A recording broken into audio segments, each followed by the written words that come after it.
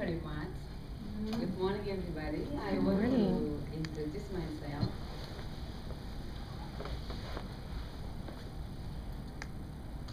To all of you, my name is Johanna Talisala. I was born in Toraja, but I grew up in some places of Indonesia. The first thing in Ambon, and then moved to Yogyakarta, and then now moved to Tobelo. Uh, I don't give my special what time I was born. And then the second one is my duty. As a head of the planning, development and collaboration, my duty are preparing of strategic, strategic planning of my institution.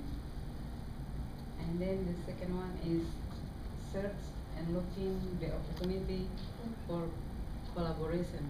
But still, this is a new job for me.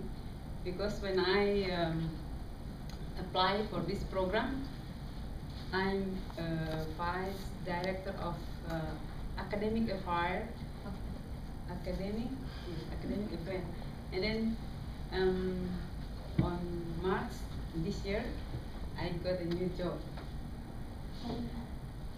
And this is about my institution, institution name Polytechnic of Padamara. It's um, abbreviation from um, people Polytechnic Perdamaian Halmahera. Because the Polytechnic is uh, built when the uh, conflict happened in that place, that most of um, young people they have uh, no study because they have uh, they have no money, and my uh, director he has an idea to make a new polytechnic there, and they go around the, the region, around the place, and just ask if you want to uh, continue your study, just come to uh, our campus, not pay, not pay. And then after they uh, graduate, when they have a job, they can pay. Yes. We have we have three study programs. They are